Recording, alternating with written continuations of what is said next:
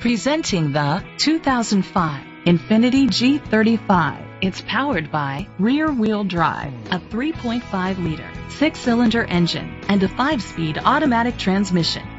The features include a sunroof, an alarm system, traction control, stability control, anti-lock brakes. Inside you'll find leather seats, heated seats, steering wheel controls, automatic climate control, curtain head airbags, front airbags, side airbags, cruise control, anti-theft system, air conditioning. Let us put you in the driver's seat today. Call or click to contact us